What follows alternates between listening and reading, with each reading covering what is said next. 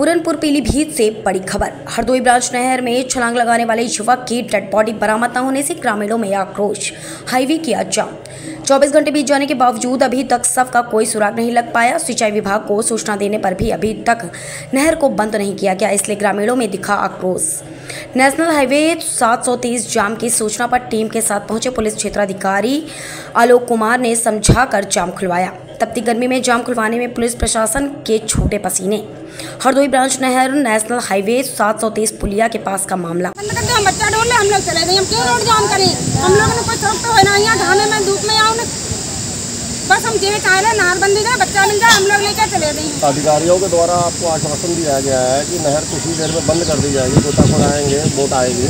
तो सर जी हम आपसे समर्थन है आपकी बात को मान रहे हैं मगर तत्काल बंद करवाओ। हाँ, बंद हो जाए बस। जल्द से बंद सुबह डेढ़ घंटा को टाइम दो तो अब तक बारह एक को टाइम बंद कर चौबीस घंटे। पिता तो पागल ही हो गए हैं उनके। कितने भाई बहन थे ये लोग? तीन भाई थे। ये सबसे छोटा था? सबसे बड़े सबसे बड़ा था? सबसे बड़े हाँ।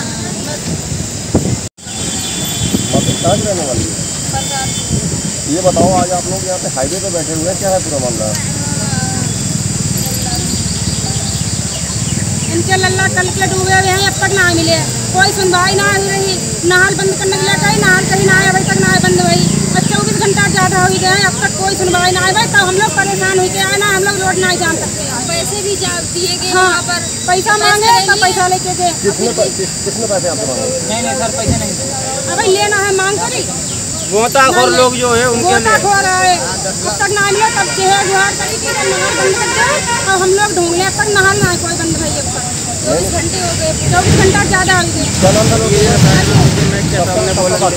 कल सुबह साढ़े सात से आठ के बीच है। तो जैसा कि आप देख रहे हैं अभी पुलिस प्रशासन भी आया हुआ आपको लोगों को कॉपरेट कर रहा है क्या है मतलब इसके बारे में क्या कहेंगे आप? इसके बाद उनका बस नहर बंद ही गया हमारा बच्चा मिल गया हम लोग घर चले गए। तीन घंटे का समय दिया है। तीन घंटे का समय दो है कि तीन घंटे का। और सुबह डेढ़ घंटा को टाइम दो। अट्ठाईस घंटा हो गए हैं अभी बॉडी को कोई पता ना चलो। कल